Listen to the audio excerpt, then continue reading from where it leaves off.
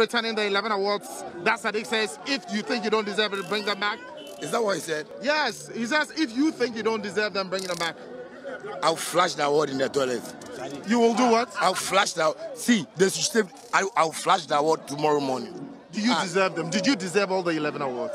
I know I deserve them, but why do you, like, he, he wants to behave like Charterhouse and, you know, I've fought wars, you know, Sadiq, and I've won my wars. You know, he shouldn't bring this. He's, we've done what we have to do, and he has to apologize to the artists. He has to apologize to the industry. That's the best thing I expect him to do. He shouldn't come about and say, I should return the awards, and if I ask him to pay me, he can pay me, because that day, you know, I supported him. I even gave him 100,000 Ghana cedi to do that show as well. So Samini took swipes at you, and we know you for social media and what has been happening between you and Samini. You haven't re- re- responded. It's a surprise to a lot of people. Well, it, I, I want to tell somebody if he can buy a fifty-five thousand dollar rollie, then I can respond to that. He's been lazy, man. It's about making money. You should stop doing that, man. He I'm- says if you release a hit song, he will release six in that day.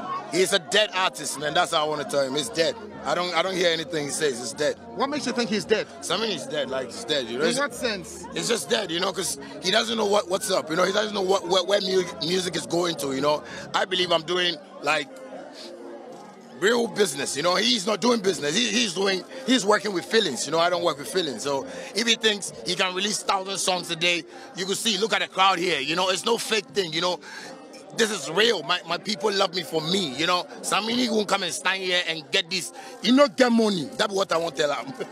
Are you finding it difficult releasing hit songs? Well, it's, it's, it's the mindset of the industry. But I can boldly tell you, I'm, I'm still making money as, as, as people think I am not making money because I'm always on the move. COVID 19 came and we had to restructure things.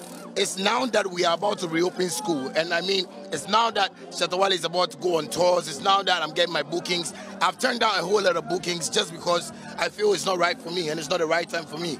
You know, but um, I think it's the right time for me now, and people are people are paying. As I'm talking to you, I'm being booked. Like I have like 16 bookings right now that you know half of it is being paid for. So, you know, people should just stop talking. Sometimes I want people to see the growth of Shatta Wale. People shouldn't just talk like they are not seeing the growth. You know, because I'm wearing diamonds, nigga. Like everywhere's diamonds, my nigga. Like it's so expensive. This whole thing can buy somebody's house. Do you feel the industry or your colleagues don't even understand Shatta Wale? No, they don't understand show business. Show business. Not that they don't understand Shatta Wale. I'm, I'm not perfect. I don't expect anybody to understand me. But the business, the show business, I think they, they're not getting what I'm, I'm trying to say. So, because if I'm trying to talk about diamonds right now, somebody will go like, now wait so you're then, wait, wait, eh, eh, toffee.